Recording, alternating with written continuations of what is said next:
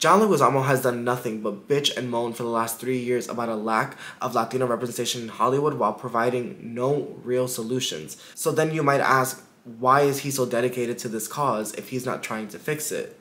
Well, the answer is simple. What's up, you guys? This is Kevin Ortega Rojas. I am a host, content creator, podcaster. I host a show here every week on YouTube called Here's Why with Kevin Ortega Rojas.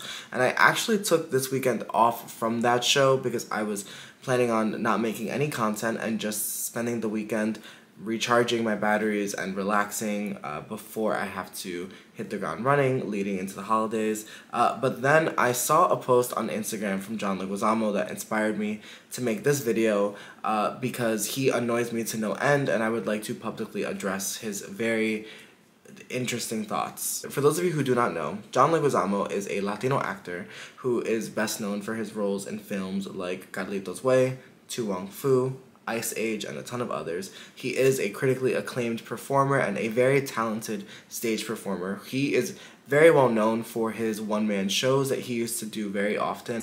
I'm telling you all day long, it's clean this, change that, take care of this. No wonder animals eat their young.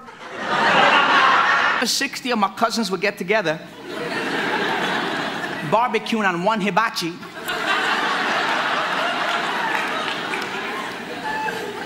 And yo, yo, we would play that salsa music so damn loud that it would interfere with NASA communications.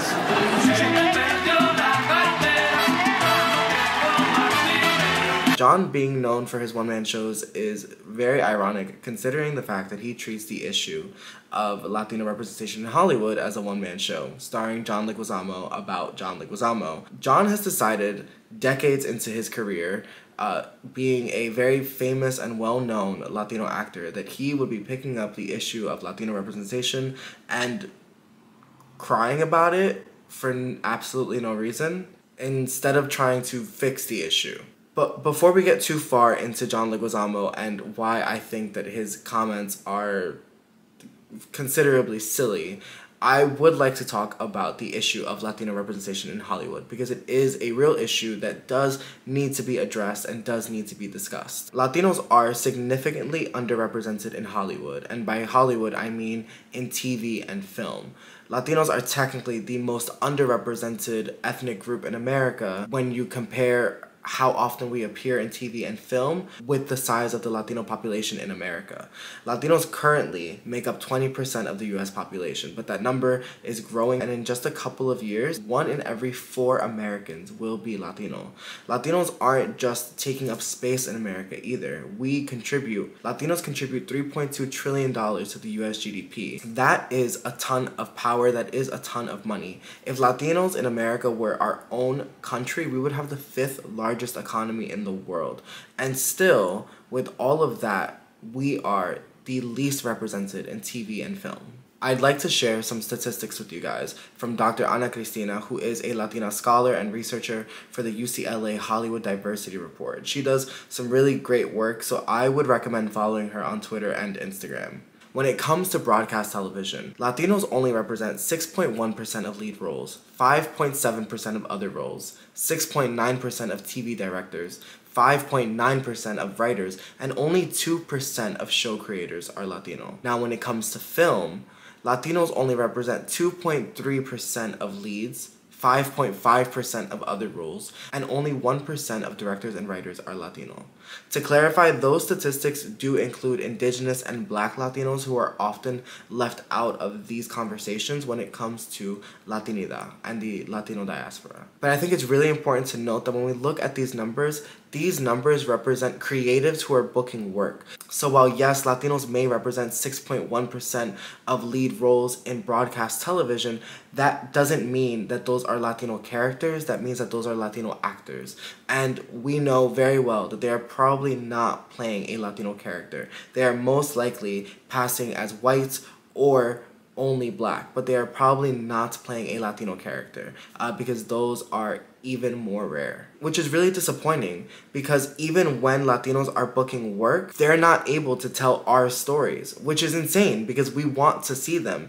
When Latinos are put front and center and their work is adequately promoted, we show up Everyone shows up, not just Latinos. Pedro Pascal had a phenomenal year this year. His work in The Last of Us earned him critical acclaim, and that show broke viewership records. Melissa Barrera and Jenna Ortega starred in Scream 6, which was the first Scream film to not star the original lead, and that ended up becoming the highest grossing film in the Scream franchise. We're often told that the reason why Hollywood executives don't make it a priority to green light Latino projects is because Latino audiences will watch anything because they know that we've grown accustomed to not seeing ourselves represented on screen. And that's disappointing because it's true. Latinos make up the largest percentage of moviegoers. 30% of box office sales are from Latinos, and when we attend those movies, we see ourselves in less than 10% of them. All that to say, the system is unfair. Latinos are here, we contribute to society, we support the system of Hollywood, we want to see ourselves represented, and we deserve that. Okay, now let's get back to John Leguizamo.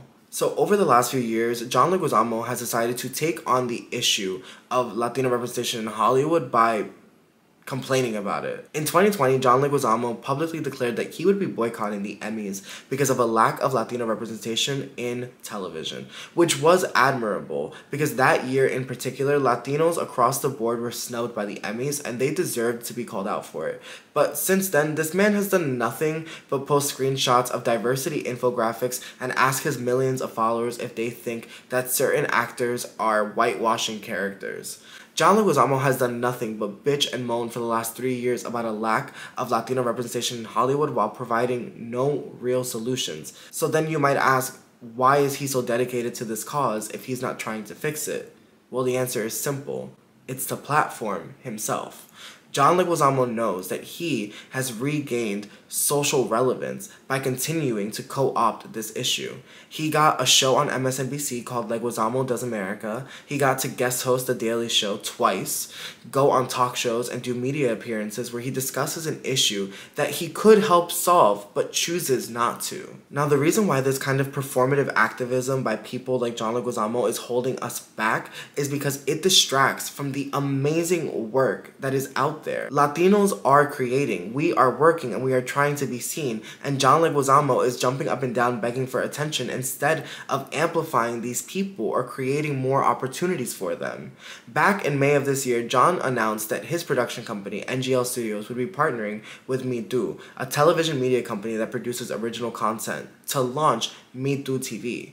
This was supposed to be a huge thing. Even I got excited. Like, wow, finally, you know, a, a, streaming platform for diaspora kids, for us to see ourselves represented, for us to pitch our own shows, for us to really be able to create our own content. But since May of this year, nothing has come from it. So far, all that's available is programming that mitú was already creating and producing, and oh, surprise, surprise, John Leguizamo live at Rikers, his new documentary. So all of this hype, the press conference, the media coverage, and all these months later, and nothing to show for it? John, why don't you just try supporting Latino creatives instead of trying to make the situation about you? You have the access, you have the resources, you could be pushing the work of the incredibly talented Latino creatives that are out here, but instead you choose to hog those resources for yourself. On the other hand, we have people like Gloria Calderon Kellett, who is a phenomenal creator and a real champion of Latino representation. She's had shows like One Day at a Time, With Love, and The Horror of Dolores Roach, all starring Latinos, all telling Latino stories. There's also been shows like Gentefied and On My Block on Netflix, or The Gordita Chronicles on Max, or Los Espookys on HBO, and oh wait, all those shows got canceled. And yes, we can and should hold these networks and these studios accountable and ask them why they continue to cancel our programs. Yes, that is an issue and we should talk about it. But when people like John Leguizamo are crying about a lack of representation, it's worth asking. Did John Leguizamo speak out when these shows were canceled? No. Did John Leguizamo promote or support these shows publicly when they were airing? Also, no, John doesn't even follow Gloria Calderon Kellett or any of these showrunners on Instagram. John Leguizamo is rarely connected to anything that is Latino related that isn't censoring himself. He doesn't follow Dr. Ana-Christina or her work with the UCLA Hollywood Diversity Report. He didn't attend the New York Latino Film Festival, the Chicago Film Festival, the Puerto Rican Film Festival, the LA Latino Film Festival, or any of the other incredible events held across the country celebrating Latinos. But he did host a dinner with a bunch of Latino actors in New York City last month a dinner where no one spoke or gave a presentation or made any sort of donation or contribution to a Latino initiative. They sort of just had dinner and sat around and posted pictures on Instagram, which I, I guess was cool. My point is that John Leguizamo, you have the power, the influence, the access, and the resources to effect real change for Latinos in Hollywood. But instead of doing that, you're choosing to continue to repeat this story over and over and over again because you've made it your platform. But at some point, put your money where your mouth is. And before I end this video, I just want to say that I am a fan of John Leguizamo. I respect and admire his work and his contributions to media and his contributions to the Latino community. Nothing Like the Holidays is my favorite Latino Christmas movie of all time. I watch it every year, and this year will be no different. But I want people like John Leguizamo and George Lopez and J Lo and anyone else who has the access and the resource to put that power to use and help the Latinos behind you open the door for us so that we can see real change. Otherwise, we're just going to be talking about this forever. Before I go, if you're looking for a Latino show that you would like to watch, that you would like to support, there's a show on Netflix called Neon that came out last month, and it's a really, really good show. It's about an up and coming Puerto Rican reggaeton artist who's trying to make it. The show was actually created by Shea Serrano, who was the creator of Primos, which airs on Amazon's platform called Freevee, and I'm pretty sure they just got nominated for an Emmy. Uh, the show was created by Shea Serrano, it was executive produced by Daddy Yankee and Tainy is the executive music producer. So this is a full-fledged Latino program that should be getting our support that I just don't see enough people talking about. At the end of the day, the message is simple, and it's not just for John Leguizamo. It's for all of us. If we want to see ourselves represented in media, we need to show up for each other. It's about cultura and comunidad. It's about doing the work, not just talking the talk. Anyway, thank you guys for checking out this video. It's a little random and not something that I usually do, but if you want to watch more of my content, subscribe to this channel. My show Here's Why airs every Sunday. You can also go ahead and follow me on Instagram and TikTok where I post daily stories about current events, pop culture, and things like that. So if you're interested, go follow me over there. Until next time, talk to you later. Take care. Love you. Bye.